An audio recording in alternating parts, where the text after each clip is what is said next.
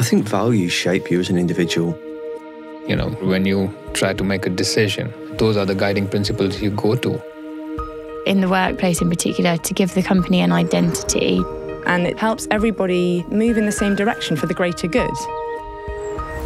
I think Mr. Ichimura was a bit of a visionary. It's quite an inspirational founding story to have. The end of the Second World War, and they said there was nothing else left. So if you strip everything away, you've got the three loves. Love your neighbour. Love your country. And love your work.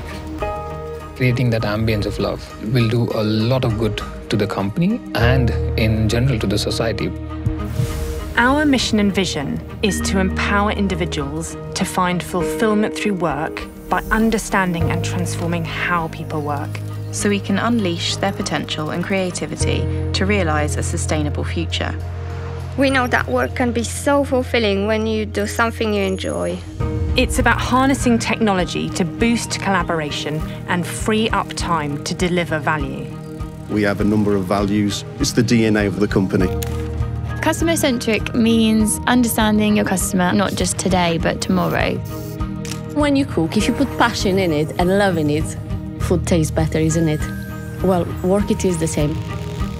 Gemba is all about learning from the facts. Put simply, it's a way of improving a process by putting yourself in the process.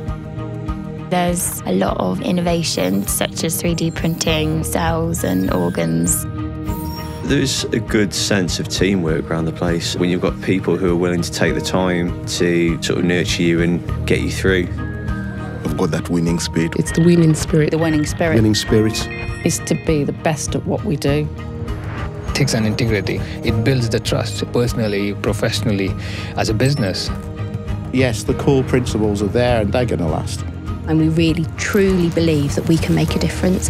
It does create a goodwill for your company, yes, but more than that, it affects the society in a very positive way.